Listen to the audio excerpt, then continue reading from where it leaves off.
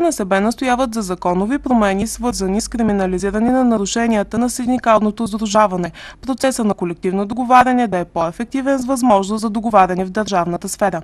Исканията са още за право на стачка, както и промени в гражданско-процесуалният кодекс, когато дадено предприятие има задължение към работника с съдия изпълнител по бързата процедура да бъде изготвен изпълнителен лист, вместо да се водят дълго дела.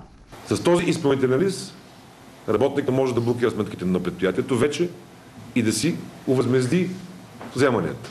Или, ако не иска да прави това, или ако не е възможно и няма нищо в сметки там, по ред причини, да може да отиде в фонда за гарантиране на вземанията на работници в случай на несостоятелност такъв фонд има. До тук добре. Обиколката на КНСБ и страната на пръв поглед изглежда, че цели да информира гражданите за правата им.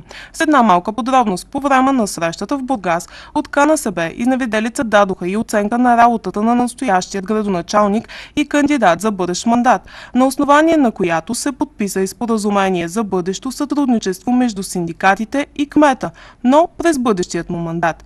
Така лъсна причината за посещението. От загриженост за работниците посоката се се смени в загриженост за резултата от изборите, а те те първа предстоят и някак предрешено изглежда да се подписват каквито и да е споразумения за в бъдеще време, защото не синдикатите, а бургазлии решават изборния вод. Останалото е манипулация.